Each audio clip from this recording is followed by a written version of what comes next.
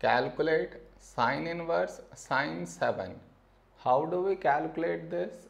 See we should get the answer to this one.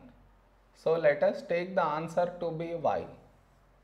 And the condition is y should lie in the range of sine inverse which is minus pi by 2 to plus pi by 2 our answer should lie in this interval.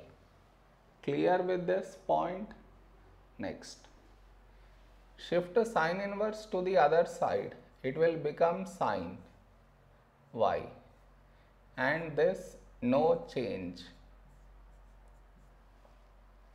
Now comparing both sides we get y to be 7. Does 7 lie in this interval? No. So reject this answer. Next, sine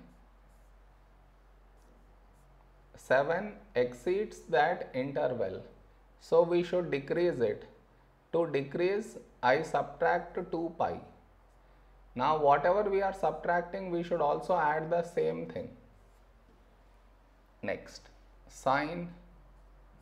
Now 2 pi I write at the start. Then this in brackets. Next, here we have pi, so sine is not going to change, it will remain sine and inside we get this angle. And, and now the question is, will we get here plus or minus? To answer that, we should look at the number before pi, which is 2. And 2 is even and all the even multiples of pi they lie in either in the first or in the fourth quadrant. So now to select the quadrant we should look at this symbol. Here we have plus that means angle lies in the first quadrant and in the first quadrant sine is positive.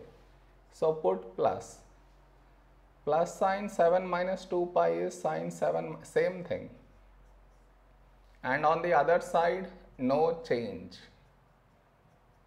equal to sine y. Now comparing both sides we get y to be 7 minus 2 pi. Does this lie in this interval? Yes. So this is our answer.